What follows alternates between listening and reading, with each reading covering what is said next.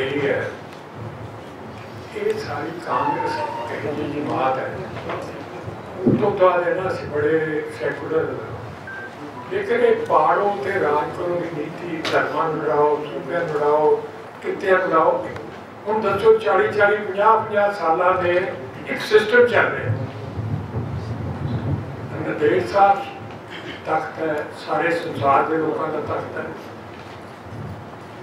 ਵੱਡੀਆਂ ਪਾ ਦਿਆਂਗੇ ਹਰਿਆਣੇ ਦੇ ਸਿੱਖ ਵੱਖਰੇ, ਪੰਜਾਬ ਦੇ ਵੱਖਰੇ, ਉਹ ਮਹਾਰਾਸ਼ਟਰ ਦੇ ਵੱਖਰੇ ਯੂਪੀ ਦੇ ਵੱਖਰੇ, ਇਹ ਇਸ ਤਰ੍ਹਾਂ ਦੇ ਕੋਈ ਮਾਹੌਲ ਜਿਹਾ ਬਣਾ ਰਹੇ ਉਹਦੇ ਜਦੋਂ 30 ਸਾਲ ਪਹਿਲਾਂ ਕਦੇ ਕਿਸੇ ਦੀ ਕੰਪਲੇਂਟ ਤੁਸੀਂ ਸੁਣੀ ਕਿ ਬਾਅਦ ਕਿਸੇ ਨੇ ਆਖਿਆ ਹੋਵੇ ਸਡਨਲੀ ਇੱਕ ਤਰ੍ਹਾਂ ਆਵਾਜ਼ ਪੜ ਲੈਣੀ ਆ ਕਿ ਮਾਰਾ ਫਲਾਨੀ ਕਾਂਗਰਸ ਗਵਰਨਮੈਂਟ ਆ ਕਰਤਾ ਫਲਾਨੀ ਕਾਂਗਰਸ। ਇਹ ਸਿਰਫ ਕਾਂਗਰਸ ਗਵਰਨਮੈਂਟ ਹੀ ਜੋ ਹਰਿਆਣੇ ਕੀਤਾ ਹੈ, ਜੋ ਉੱਥੇ ਕਹਿੰਦੇ ਕਾਂਗਰਸ ਗਵਰਨਮੈਂਟ ਹੈ। ਸ਼੍ਰੋਮਣੀ ਕਮੇਟੀ ਦੀਆਂ ਕਿੰਨੇ ਚਿਰ ਤੋਂ ਚਾਰ ਸੀਟਾਂ ਸਨ?